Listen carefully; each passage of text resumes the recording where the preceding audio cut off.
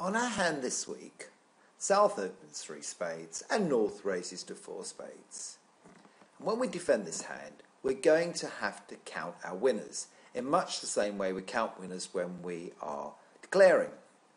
Partner leads a heart and we win the first trick with the ace.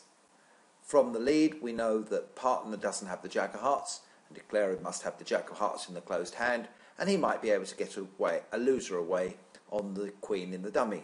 So we need to cash our tricks.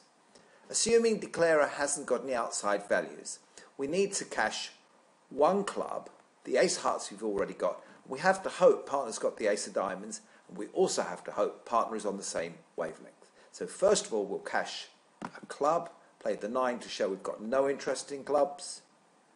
Partner now is on the same wavelength and realizes no future in clubs or hearts, plays a diamond, a low diamond to show an honour, and we fire a diamond back, and we take the first four defensive tricks.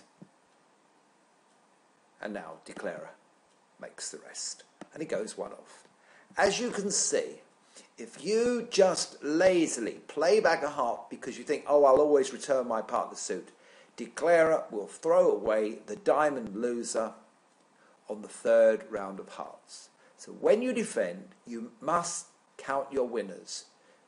In order to defeat four spades, you've got to find four winners. You've got two, the two aces, and partner's got the king of diamonds and the ace of clubs, the other two, and you defeat the contract by one trick.